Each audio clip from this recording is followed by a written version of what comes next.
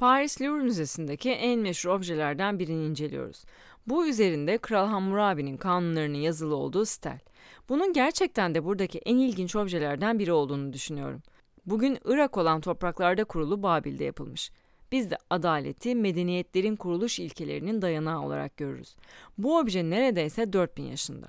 Stel uzun ve üzeri kazınmış, dikili taş olarak da adlandırılan bir objedir. Bu stilin üst kısmında bir rölyef, alt kısmında ise taşı çepeçevre çeviren çivi yazısı var. Çivi yazısı Babililerin resmi dili olan Akatça ile yazılmıştır. Bu dili resmi kararlar için kullanırlarmış. Evet, yazının dili Akatça ve yazı da çivi yazısı.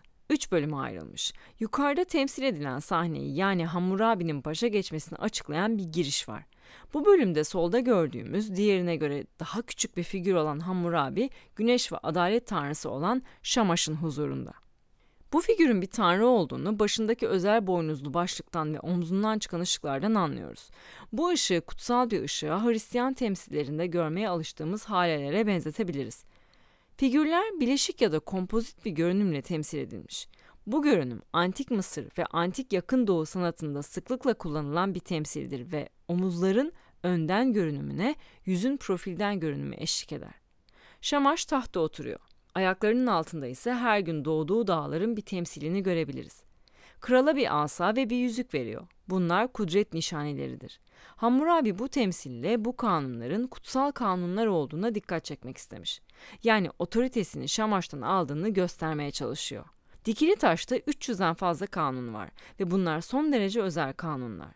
Uzmanlar bunların bir kral tarafından liste şeklinde yazılmadığını düşünüyorlar.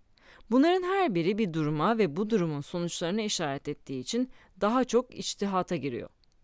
Mesela eğer bunu yaparsanız sonucu bu olur gibi. Bir örnek vermek gerekirse maddelerden biri şöyle diyor. Bir inşaatçı herhangi bir kişi için bir bina inşa eder ve bu binayı uygun bir şekilde yapmazsa ve onun inşa ettiği bina yıkılıp sahibini öldürürse inşaatı yapan öldürülür. Burada kısasa kısas söz konusu ve bu bize İncil'de de karşımıza çıkan göze göz dişe diş değişini hatırlatıyor.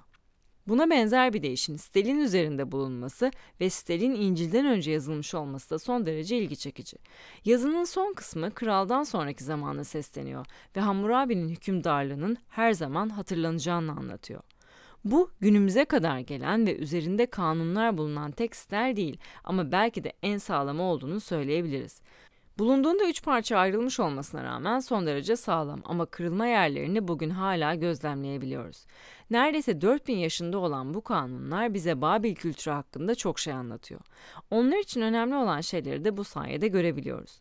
Kanunların birçoğu tarıma dayalı konulara yönelik ve bu da toplumdaki önemli anlaşmazlık konularından birinin bu konular olduğunu gösteriyor. Birçoğu da aile yaşantısıyla alakalı ve bir kralın da önemli görevlerinden biri halkının huzuru ve iyi yaşayabilmesidir. Bu stel ayrıca Mezopotamya'nın ileri kültürünün de bir simgesi. Bundan 4000 yıl önce tarım yapan ve toplumun huzuru için kanunlara başvuran bir medeniyet varmış. Bugün sahip olduğumuz değerleri bugün çok huzurlu olmayan bir bölgede varlığını sürdürmüş olan antik Mezopotamya medeniyetlerine borçluyuz.